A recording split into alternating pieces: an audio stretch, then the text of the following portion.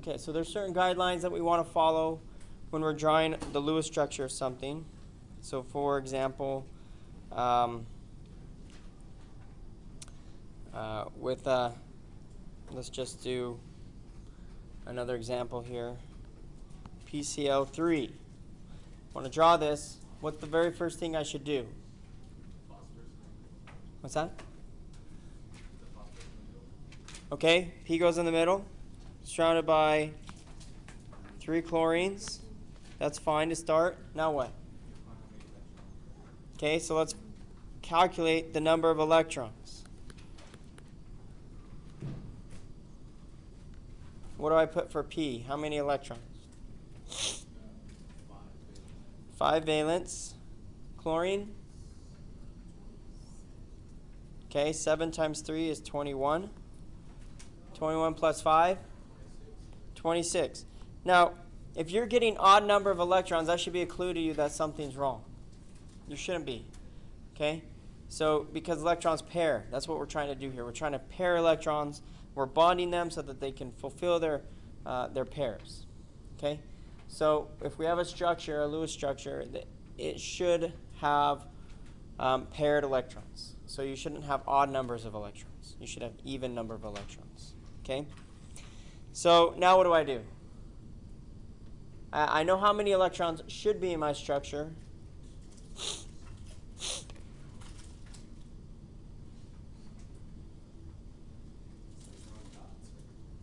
Okay, draw dots. draw dots. Okay. So I need to put how, how do I know how many electron how many dots or electrons do I put on these elements? They all have to have eight. Good. They have to have eight. How many am I going to put on that central phosphorus? Two. two more because it already has six, right? So each chlorine here needs six electrons or three pairs, three lone pairs. Needs three lone pairs here. Okay. Um, the central phosphorus needs one lone pair. Okay. Now what? Okay, how many electrons are on that structure?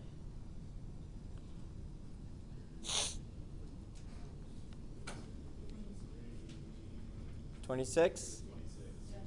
So is this my structure? Yes. 26 electrons is what I need. I have 26 electrons. Everything's following the rule of 8. So this is my structure. Okay? So uh, earlier, right here, remember, if you start out with um, just two things bonded to your central element, that will be your initial structure will have 20 electrons. If it's three things bonded to your central element, your initial structure will have 26 electrons. If it's four things bonded to your central element, your initial structure will have 32. So if you ever start out with 20, 16, I'm sorry, 20, 26, or 32, then you know the structure you start out with will be your structure because you won't have to manipulate it at all. It will be your first uh, structure. Good. Okay, so those are the steps I need to follow. What if it was 24 here instead of 26? What if the number of electrons here was 24? What would I have to do? I'd have to make a double bond. Somewhere between one of the phosphoruses and the chlorines, I'd have to make a double bond to satisfy um, that 24 electron requirement. Okay? Because every time I make a bond, I remove electrons from both of the things I bonded to, and that reduces the total number of electrons by 2. Okay? Okay, so um, when, we, when we're looking at bond pairs, one, a single bond is one pair of electrons, just two electrons.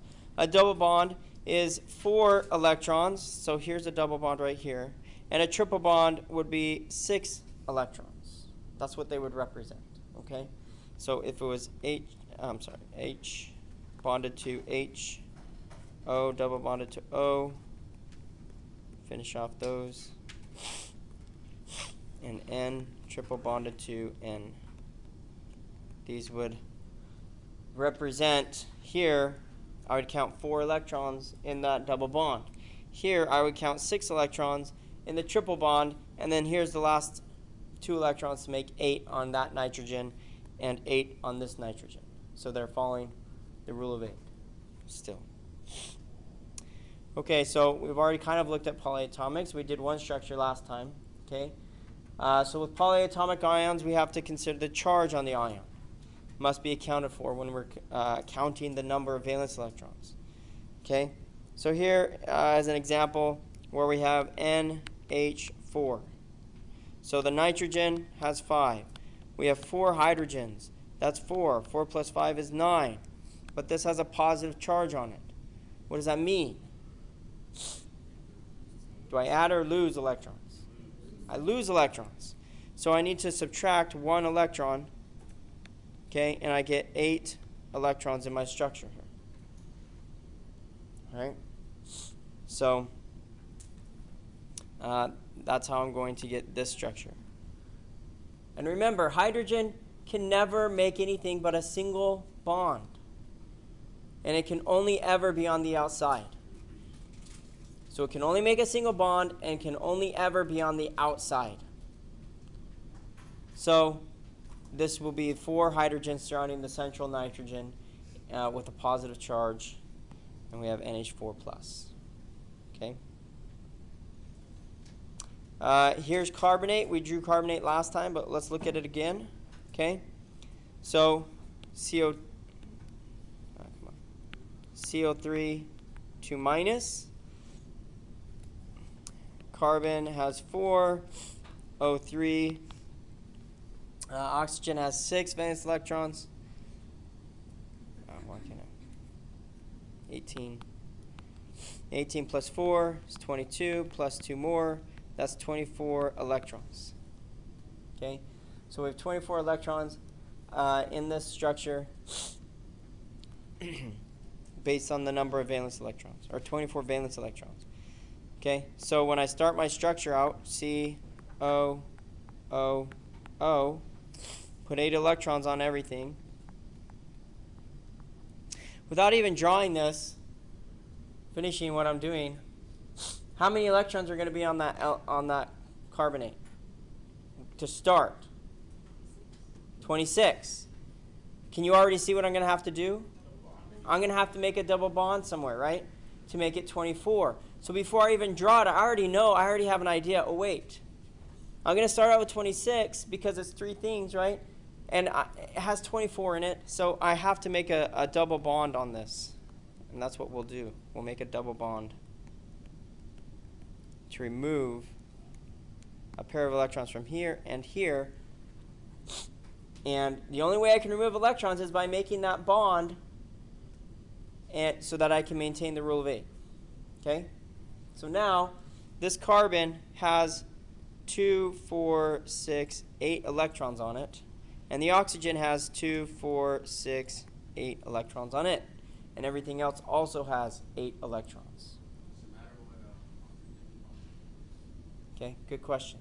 We're going to talk about that. It's called resonance. Okay, and um, as far as drawing the structure, no, doesn't doesn't matter. Okay. Um, so here they're just going through. They're going to show us. Uh, we're going to draw that structure. We're going to get the the Lewis structure with a double bond on it. Okay. Um, so bond energies. One thing we should understand about double bonds and triple bonds and single bonds is that a triple bond is stronger than a double bond and a double bond is stronger than a single bond. Okay? So the triple bond is the strongest. And as you go down, it gets weaker to single bonds. Okay? Now that also has something to do with the fact that the bond length changes as I move from a single bond to a double bond to a triple bond.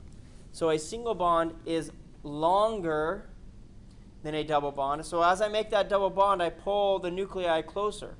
And as I make a triple bond, I pull them even closer together. Okay? So you could imagine that if I was going to break a bond, just think of like, I don't know, a stick or something. The longer the stick, the easier it is to break, right? So those single bonds are easier to break. They're longer, they're farther apart. But as I move in closer, okay, uh, and I create that double bond, it, it becomes harder to break. And then I get a triple bond, and it's even closer, it's even harder to break. Okay? Requires more energy, more energy to break that triple bond.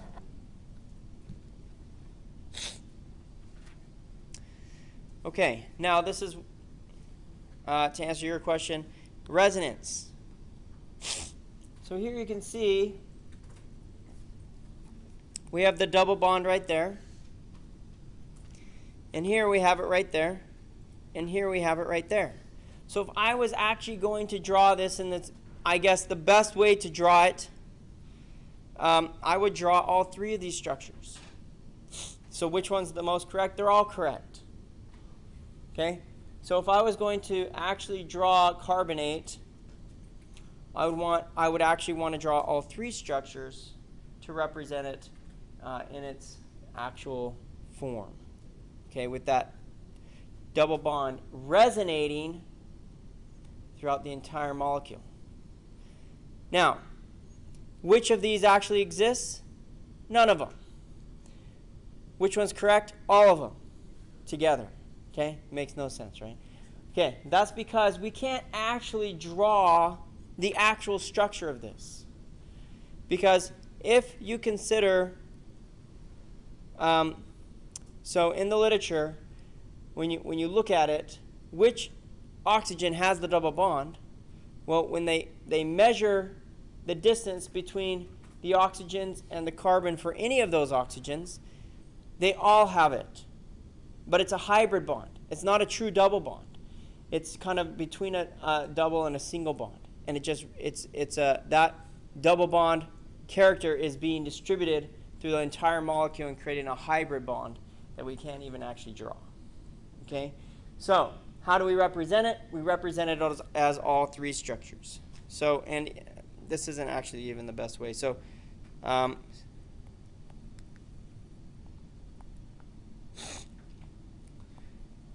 because this is a polyatomic ion, we'd want to also put the charge on there.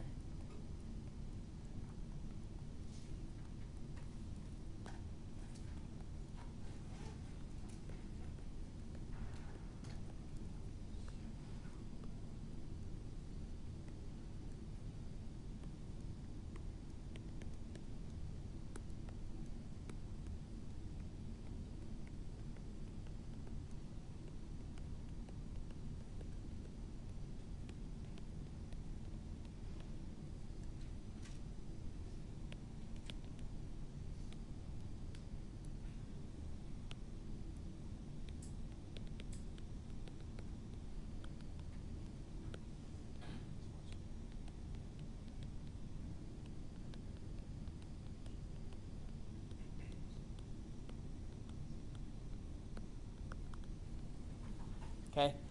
So this is more how we would want to represent that double bond resonating uh, throughout this carbonate molecule. Okay?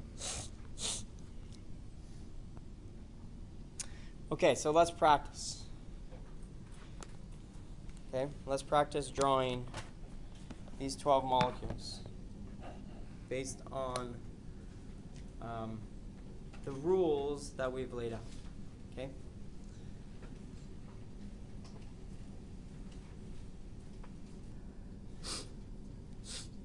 Okay, so there is a, a concept that we call expanded octets. Okay? So you know how I've been drilling into your head? Rule of eight, rule of eight, rule of eight, right? Um, so now I'm going to tell you there are some exceptions to the rule of eight. So I already tell you, I already told you that there were a few that come before carbon, remember? Can boron have eight electrons around it? No. How many can it have around it? It has three valence, right? It can only ever make three bonds. How many electrons is that? Six. It can never have eight. Beryllium could only ever make two bonds. How many electrons is that? Four. Okay? Um, hydrogen can only ever make one bond. That's it. Okay? So I could never put more than one bond around hydrogen, or two bonds around beryllium, or three bonds around boron. So those are exceptions to the rule of eight in that you have a deficiency. Now let's talk about when you have an abundance of electrons around an element. How is that possible? Look at number five. Okay, phosphorus surrounded by five fluorines. If I bond five fluorines to phosphorus, how many electrons is that on phosphorus?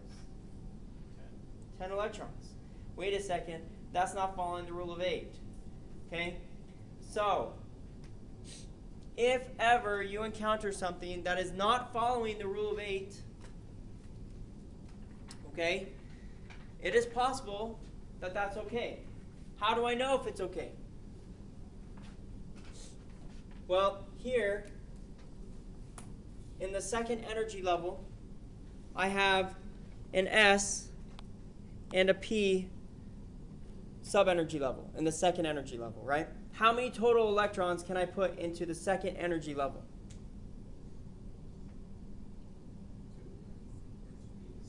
S is 2, P is 6, that's 8.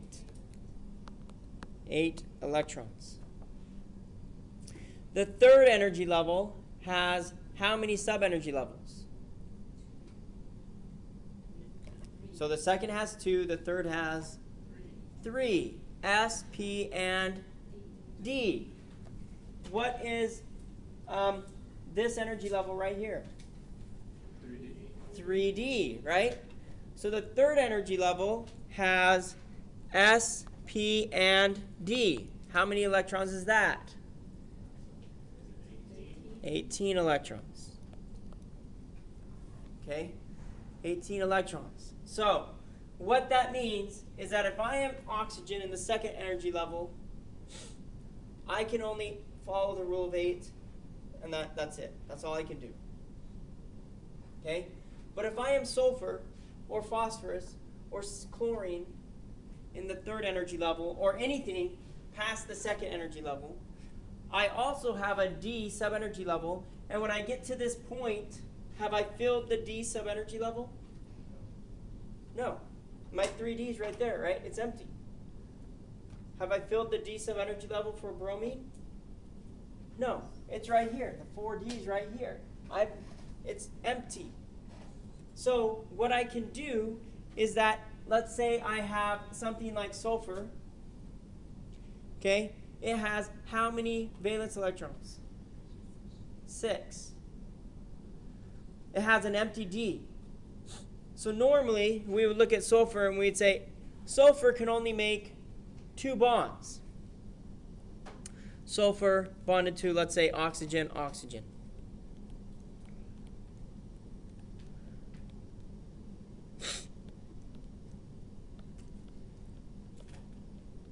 Okay, if we actually did this, we would need to put a bond there. Okay, we'd have SO2.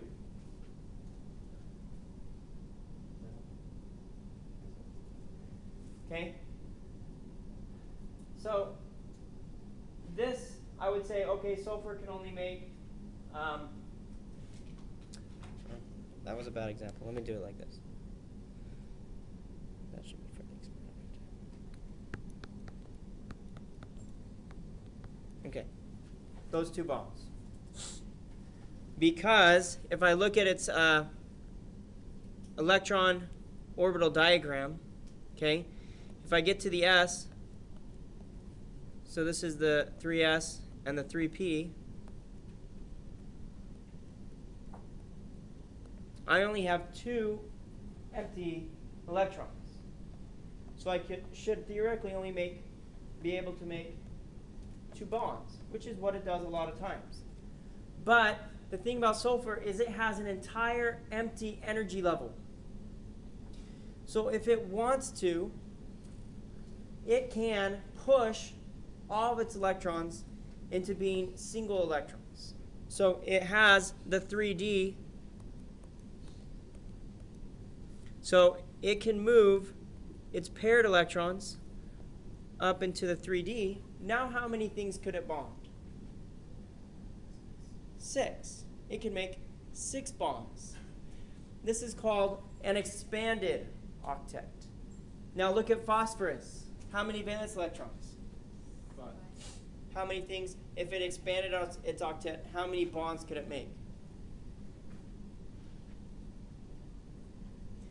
Sulfur has six valence electrons, it can make six bonds. Phosphorus has five valence electrons, it could make five bonds. PF, five. Okay? So that's why we have a PF five, because it expanded its octet. And it's okay, it can do that. Alright? So phosphorus, uh, PF5, would look more like this. It's all, all five of its valence electrons get expanded. This is the 3D. Expand them out. Because it's an, just an empty orbital. It has it, so it can fill it out that way. Okay? Uh, chlorine can also expand its octet. Um, usually it doesn't do it to where it makes seven bonds. Usually what it does is it makes a few, usually it could only make one bond. So usually when it expands its octet, it can make uh, a few bonds um, with certain things and then put those extra electrons right on the central element. Okay?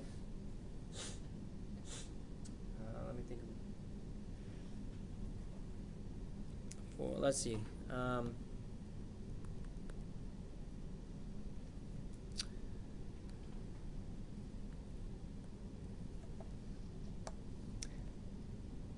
okay, so for something like this, um, BR7, I2,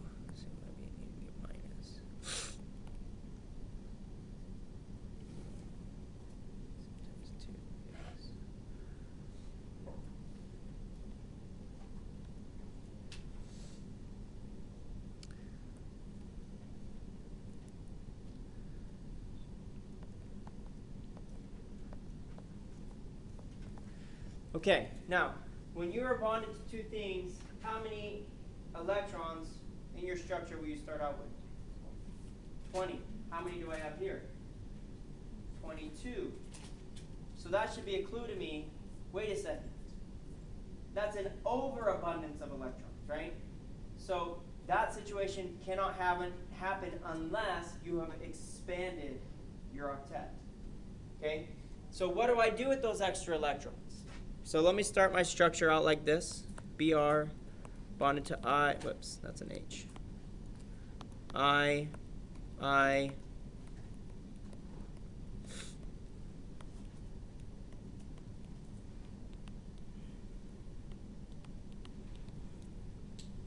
okay.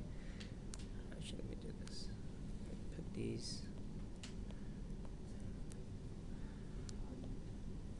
Okay, so I could start it out something like this. Everything's following the rule of eight. I have 20 electrons.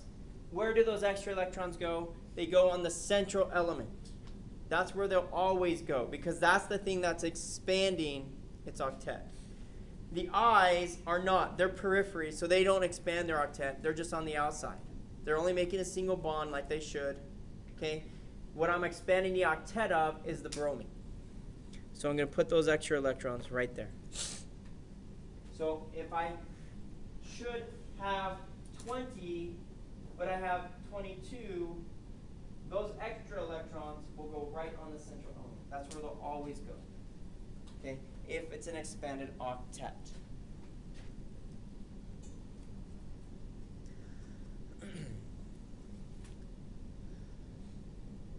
so, with that considered, let's consider something else. Look at this one, SO3. Okay? Hurt my leg last week and sit down for a second. Okay, so for SO3,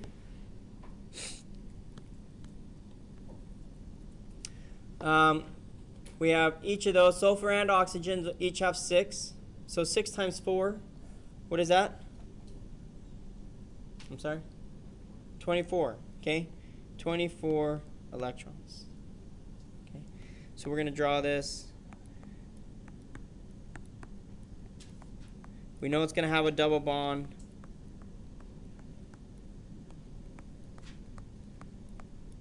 And it's following the rule of 8, right?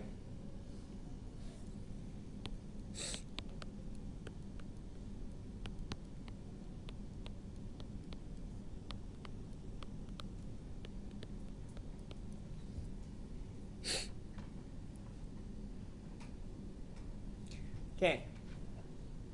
How many electrons are in the other structure I just drew?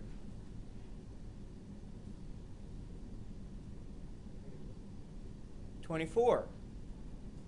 So why why would I choose one over the other one? If I was just considering the rule of eight.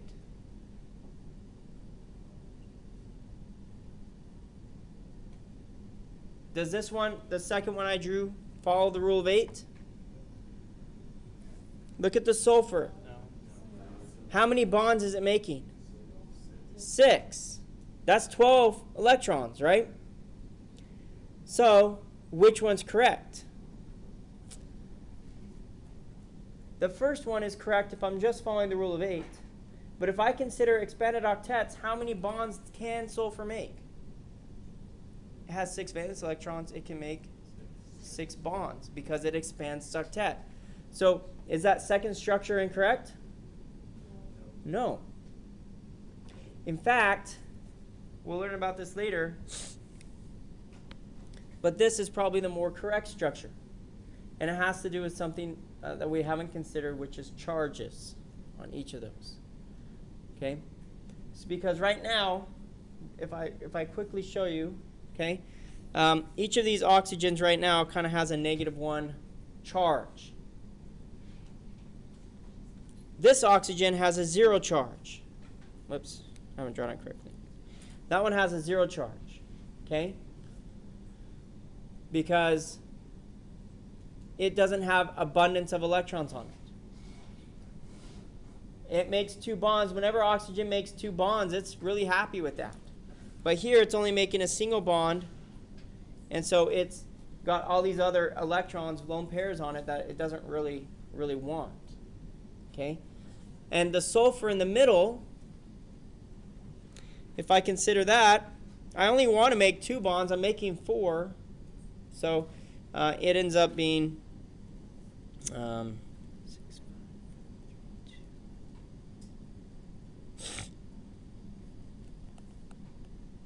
okay, plus two. uh,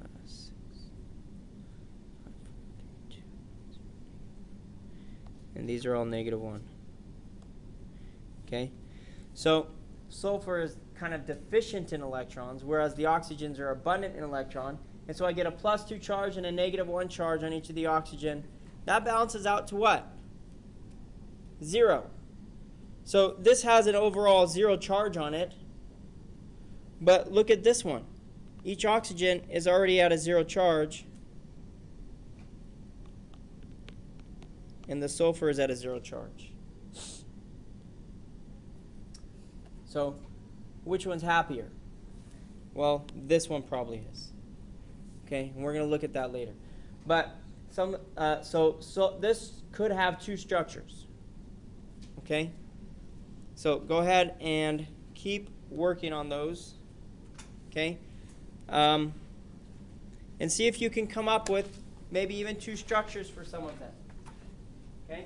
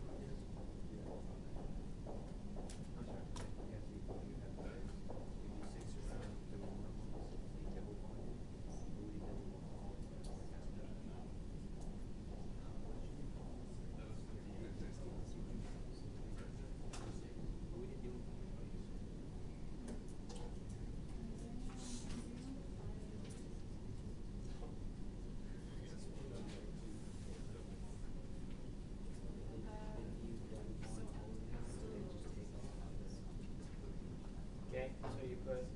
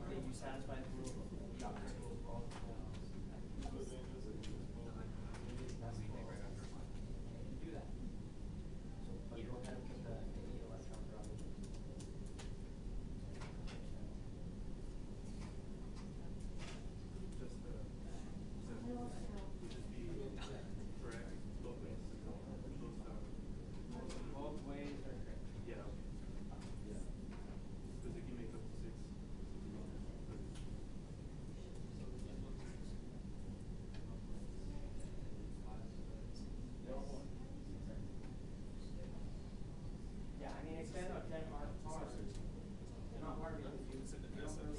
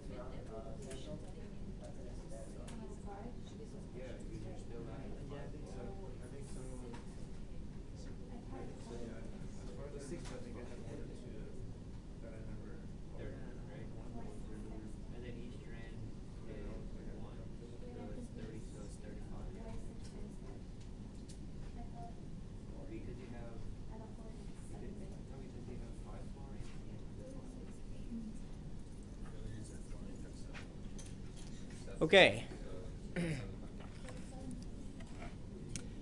Um, so, could, could NO2 minus have an expanded octet? Can nitrogen expand its octet? No. No, it cannot. Okay? Nitrogen is not in the third energy level. It doesn't have a D. Nitrogen cannot expand its octet. So I know that everything in this is going to follow the rule of eight. I can only have one single structure here that follows the rule of eight. Uh, and so when I draw that structure for NO2 minus, uh, what is it? So nitrogen O2. it's negative one.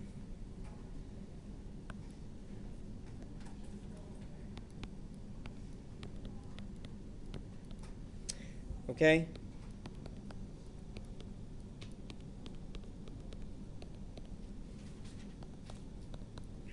That's going to be my structure. I know it. Okay? It has a negative one charge. So that's my um, NO2 minus. Can uh, sulfur expand its octet? Yes. So potentially this one could expand its octet. So I could potentially come up with two structures. Okay? So SO3 2 minus, sulfur, uh, and O3, that's 6 and 18, it's 24, plus 2, 26 electrons. Okay? So without even drawing it, what's my structure going to look like? Does it have any double bonds? If I'm not considering an expanded, no, right? If I don't consider anything uh, with an expanded octet, it doesn't have any uh, double bonds, right? S O O.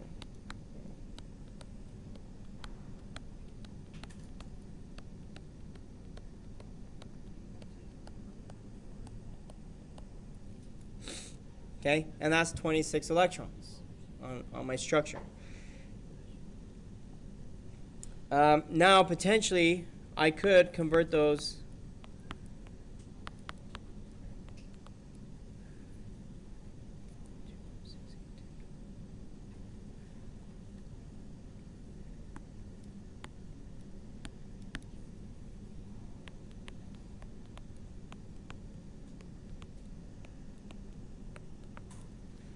Okay?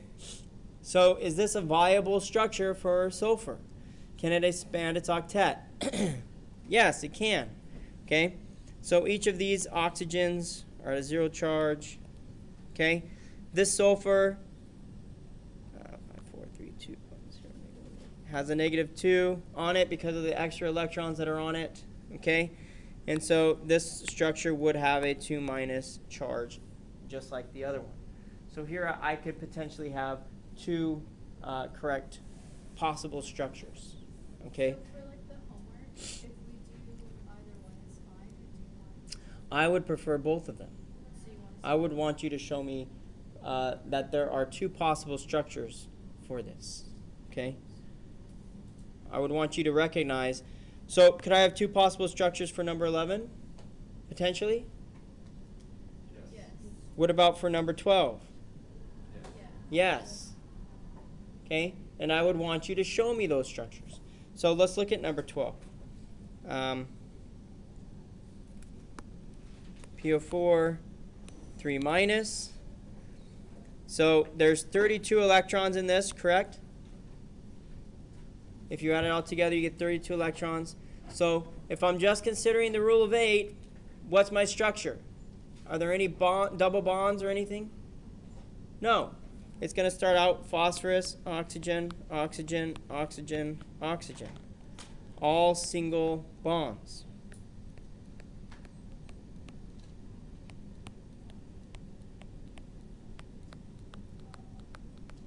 Okay?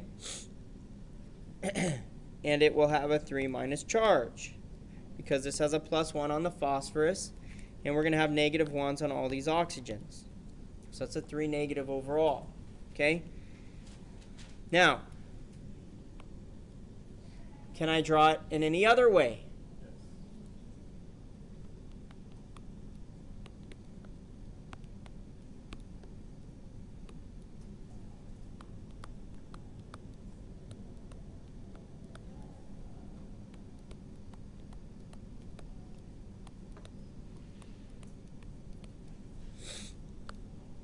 It's not there.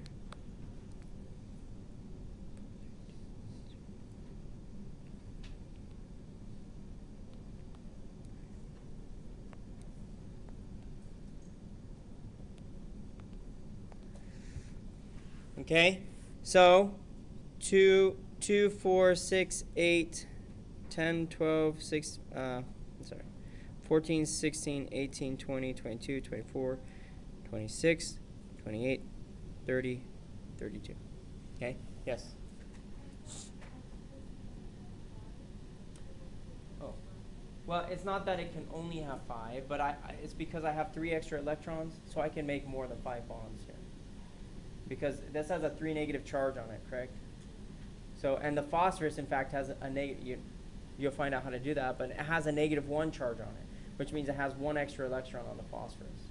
So it could have, because of that extra electron, it can make those those extra bonds. Okay, so this also has a one, two, three minus charge on it. Okay. So this is a second potential structure for PO4 3 minus. Okay. Okay. Uh, and SO4, same thing. Okay. You'll get a, a similar structure as this one for SO4 2 minus. All right. So if you can expand your octet, then you should consider whether it potentially could have a second expanded octet structure um, versus just the one that is following the rule of eight. And you said these are only can be done with the third energy level, right? Third, no, anything after the second. Third, fourth, fifth, sixth, any of those could expand their octet. Iodine can do it. Often you'll see uh, iodine expanding its octet and bromine. You'll even, because of expanded octet, even though these are inert, sometimes you'll even see a xenon um, that has expanded its octet and it'll make some bonds. Okay, uh, so but for the most part, xenon won't react with anything. But it, if it expands its octet and gets its electrons and you know out there in the D, now it has some bonding electrons where before it didn't, and so it can do that, and it it does. Okay, it does do that. Okay. All right. I'm gonna hand this out before I forget to do it. This is the, the homework assignment. And there's stuff on here uh, you're not going to know how to do yet. Excuse me. Okay? But by the end of chapter 8, we're not gonna, chapter 8, we're not, going to spend a lot of time on it. There's a bunch of stuff in chapter 8 that we're not even going to cover. Okay? Um, but there's basically one or two concepts in there that we're going to cover that will help you to be able to do this homework. Um, maybe hybridization, dipole, okay, informal charges. Yes.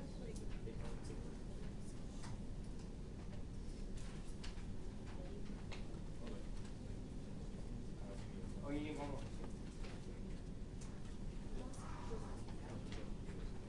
Any other issues? No?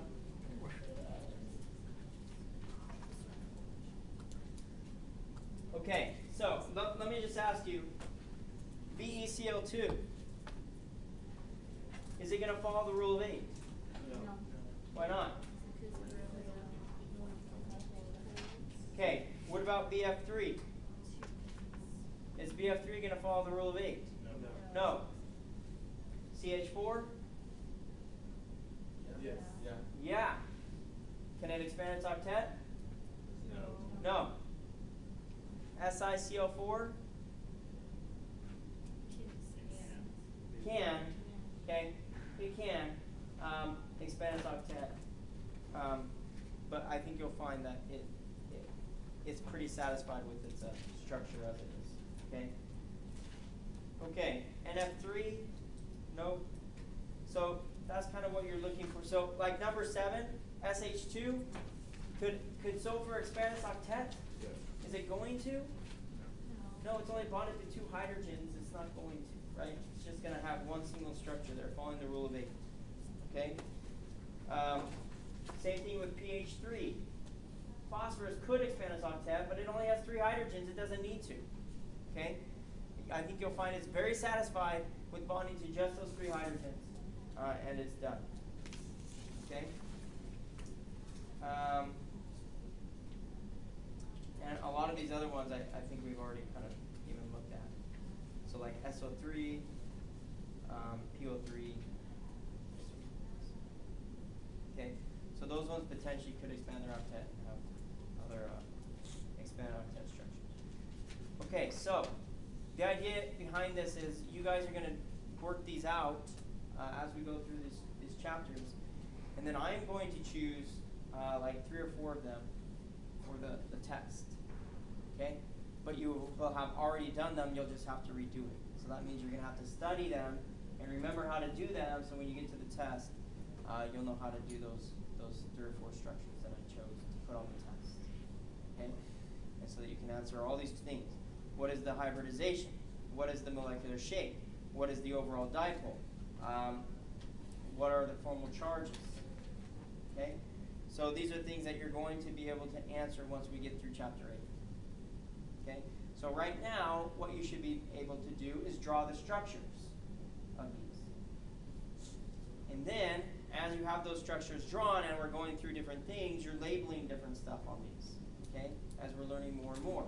So for example, um, right here, understanding VSEPR, valence shell electron pair repulsion theory. Okay? So VSEPR uh, is the shape of the molecule based on the repulsion due to the valence shell electron pairs.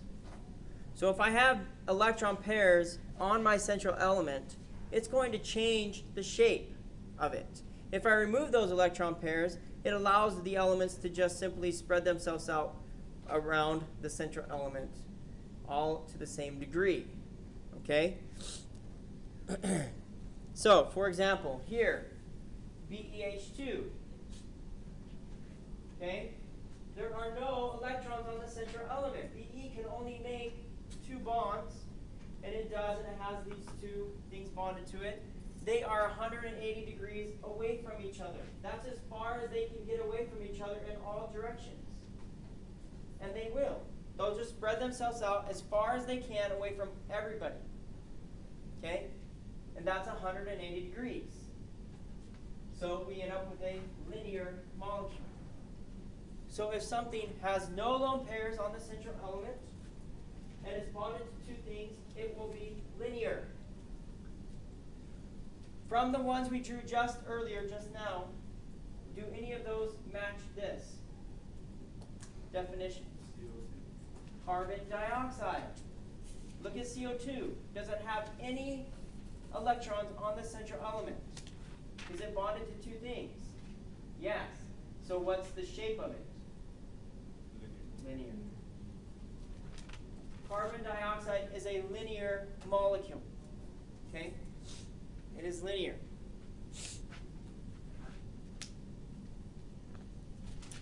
Okay, so here's BF3. It has makes three bonds, no lone pairs because it can't have any lone pairs. It can only make three bonds and it's done. It only has three electrons.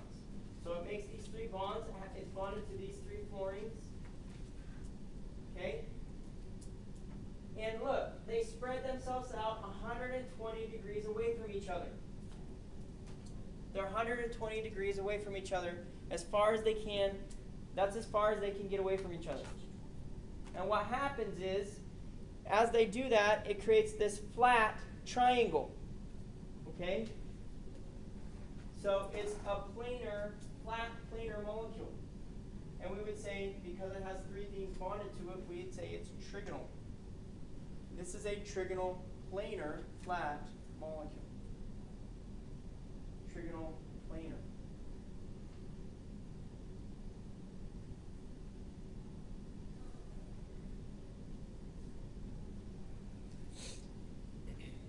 Are there any of the structures you drew from the earlier compounds that matched this description?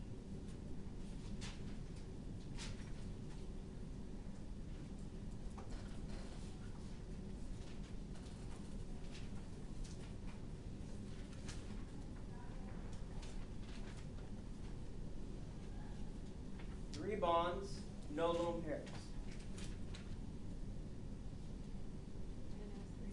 NO3, excellent. NO3 minus, nitrate. NO3 minus would be a trigonal planar molecule because it has no lone pairs on the central element and it makes three bonds. Those three oxygens are separating themselves as far apart as they can from one another. Okay?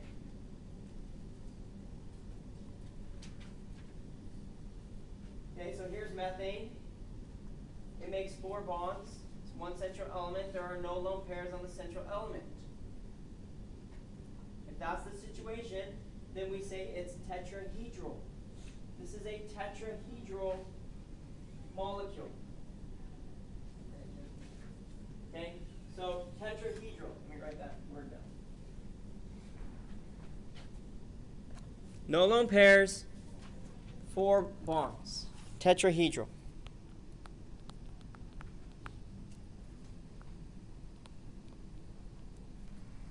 It is tetrahedral. Okay?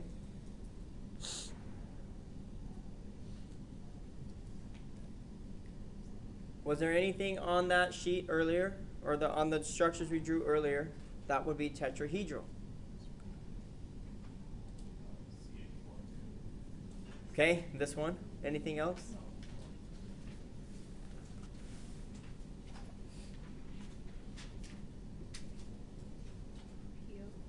There you go. SO4 2 minus, PO4 3 minus. Those will have tetrahedral geometries. Good. Okay. Now, what happens though if I have a lone pair? That's what happens if I have no lone pairs for two, three, or four things. I am linear, trigonal planar, or tetrahedral. But what if I have make three bonds and I have a lone pair on the central element? Now what happens? Well, that lone pair pushes those other things. They are flat, that flat triangle. But when I put that lone pair on, it pushes those other things down. And I get this configuration. These come down because this is taking up room. That lone pair. Okay, it pushes all these down. And I get what's called a trigonal pyramidal shape. Trigonal pyramidal.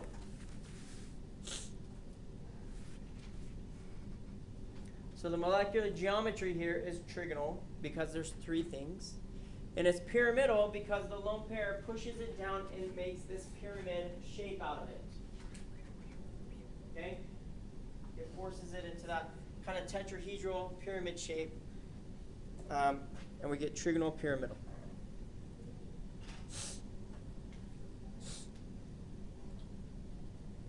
Okay, let's look at water.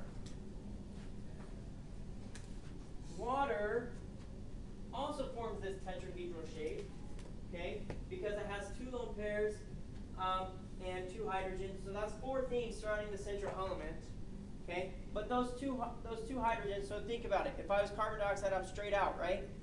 But if I put lone pairs on the central element, it pushes those hydrogens down. So water causes its two things to get pushed down, and it takes on what we call a bent configuration. It's bent. Okay? So it has a bent shape. So if I have more than, sorry, if I have two things bonded to my central element and I have lone pairs on the central element, they will bend those hydrogens down. And I will end up having a bent electron configuration. Just like I see here. This is a bent shape. So, two things. No lone pairs. Linear. Two, I should say two bonds. Two bonds. Lone pair on the central element. Bent. Two bonds. Two lone pairs on the central element. bent. It doesn't matter how many lone pairs are on the central element, it will be bent if there are some. Okay? Three bonds, trigonal. No lone pairs, trigonal planar. Three bonds, trigonal. Lone pairs, trigonal pyramidal. Okay? The lone pairs cause it to go into a pyramidal structure. Okay. Um, so, basic procedure to, to determine the shapes, write the Lewis structures, count the number of bonds, um, and whether it has electrons on the central element. Okay? If there are no lone pairs, linear, trigonal planar, or tetrahedral. Okay? If it does have uh, lone pairs, then that's going to cause that to change into bent, trigonal planar, or uh, or trigonal planar. Okay, that's. Okay, determine the geometry of the following compounds. Let's just uh, let's just do it like this. Um, let's do it next time because we're out of time. Okay.